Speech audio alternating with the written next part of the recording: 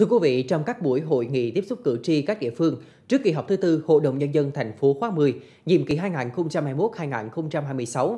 nhiều cử tri có ý kiến, kiến nghị về tình trạng thiếu nhà sinh hoạt cộng đồng tại khu dân cư trong một thời gian dài. Thậm chí có trung tâm văn hóa thể thao học tập cộng đồng của địa phương biến thành kho chứa các vật tư, thiết bị cưỡng chế, dẫn đến đảng viên, người dân không có nơi sinh hoạt, thụ hưởng văn hóa địa phương và ảnh hưởng lớn đến việc tuyên truyền chính sách, chủ trương của đảng, nhất là trong bối cảnh dịch COVID-19 diễn biến phức tạp.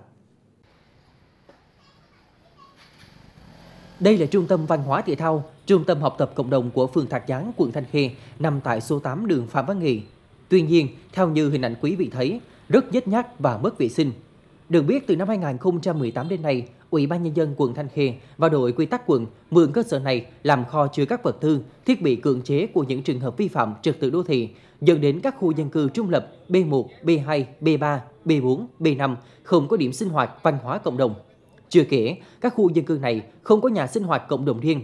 Phường hay quận cũng không hề bố trí một điểm mới nào cho người dân để sinh hoạt, khiến người dân vô cùng bức xúc, đề xuất với Ủy ban Nhân dân phường trả mặt bằng này cho nhân dân. Tuy nhiên, trong các đợt tiếp xúc cử tri hàng năm đều có kiến nghị nhiều lần nhưng không được giải quyết thấu đáo. Thì cái việc mà sinh hoạt, tổ chức sinh hoạt, tuyên truyền, giáo dục cũng như là vận động bà con thì không có cái nơi sinh hoạt.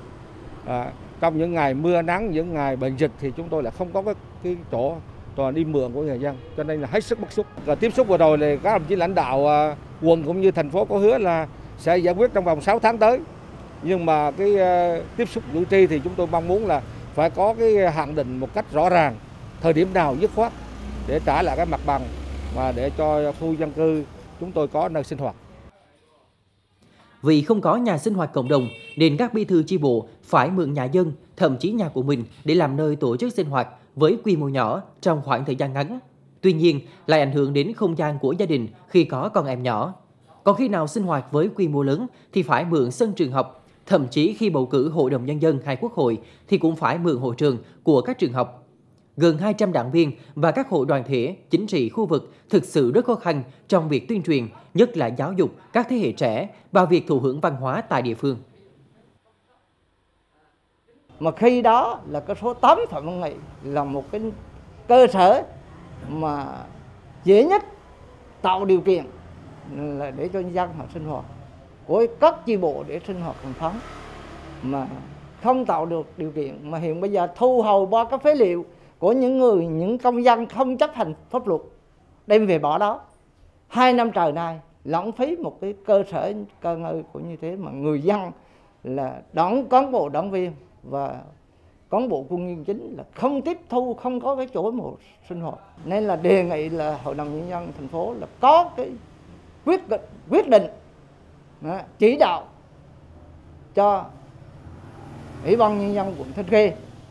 sớm để giải quyết các vấn đề này. Còn tại phường Phước Mỹ, nhiều cử tri cũng đã có kiến nghị về việc xây dựng các nhà văn hóa, sinh hoạt cộng đồng tại khu dân cư. Hiện phường chỉ có 7 nhà sinh hoạt cộng đồng đang hoạt động, nhiều khu dân cư thiếu nhà sinh hoạt. Tổ dân phố phải vận động mượn tạm một số cơ sở trường học và sân rộng của nhà dân để làm nơi sinh hoạt. Lý giải tình trạng này, lãnh đạo phường cho biết thành phố đã có chủ trương đầu tư nhà sinh hoạt cộng đồng nhưng chưa đầu tư kịp. Phường cũng đã đề xuất quận trình Ủy ban thành phố vào ngày 10 tháng 9 năm 2021. Ủy ban thành phố đã ban hành cái quyết định à, 2393 để à, phê duyệt à, cải tạo nâng cấp một số và đầu tư mới một số nhà sinh hoạt cộng đồng trên địa bàn thành phố trong đó là có à, địa bàn phường Phước Mỹ và, và, và ghi cái vốn trung hạn hiện nay thì à, ủy ban quận đã giao cho ban quản lý công trình xây dựng cơ bản à, làm công tác chuẩn bị đầu tư trong thời gian tới sẽ triển khai à, lần lượt một số nhà sinh hoạt cộng đồng. Với kế hoạch như trên, theo lãnh đạo phường Phước Mỹ thì sắp tới sẽ xây dựng thêm 14 nhà sinh hoạt cộng đồng. Nhà sinh hoạt cộng đồng là nơi hội họp, học tập, tuyên truyền các chủ trương, chính sách của đảng, pháp luật của nhà nước, là thiết chế văn hóa để tổ chức các hoạt động văn hóa, các sự kiện chính trị quan trọng ở địa phương. Tuy nhiên, với tình trạng thiếu nhà sinh hoạt cộng đồng như hiện nay, sẽ ảnh hưởng đến đời sống tinh thần cho người dân trên địa bàn, nhất là việc giữ gìn và phát huy những giá trị văn hóa.